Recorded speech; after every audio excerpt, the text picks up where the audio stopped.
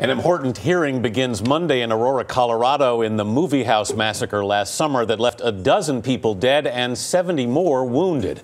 Accused gunman James Holmes is expected to be in the courtroom when, for the first time, prosecutors reveal much of the evidence against him. That includes nine. That includes 911 calls and video from inside the theater. For some insight into this, we turn to Jean as a correspondent for In Sessions on TruTV, who's also an attorney. Good morning, Jean. Good morning. Thanks for being here. Um, the, we, are going to have this pre preliminary trial. Often the defense waives it. Why, why have they decided to go ahead with it? Well, it's interesting because it's good for the defense in a sense because this is like a mini trial, and the mm -hmm. prosecution puts witnesses on the stand, and extremely important for the public also because there's a gag order in this case, and we are apt to hear things and evidence that we have not heard before. But for the defense, it can be what's called a discovery tool. Mm -hmm. They can sit there and listen and watch, and they can find out things. They can test the credibility of witnesses. They can see how witnesses perform on the stand.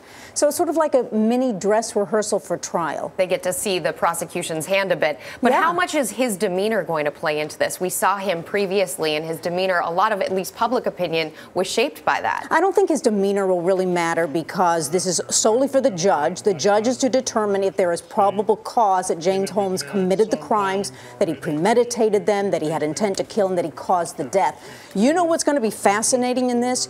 The defense is going to put on two witnesses, and the prosecution has fought so the witnesses do not take the stand, but the judges said they can. We don't know who they are, but they're lay witnesses, and they're toward James Holmes' mental state. We That's don't know what their connection to him is either, do we? We don't. We just know they're not psychologists, they're not psychiatrists, but it has to do with his mental state. And here's what's interesting. The reason the prosecution fought so they wouldn't take the stand mm -hmm. is that these witnesses have cooperated with law enforcement, but they will not be interviewed by the defense investigator. So the prosecutor said the only reason he wants to put them on there is so they can finally interview them. But the judge said, no, there's good faith here.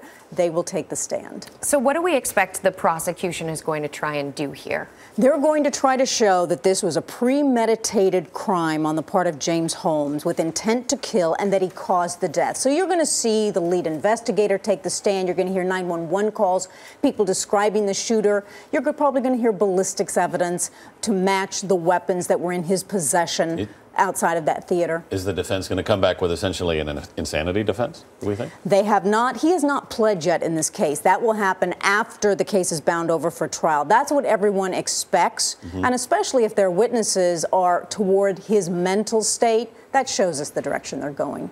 Jean Casarez, thanks so much for joining us. You're welcome. Thank you.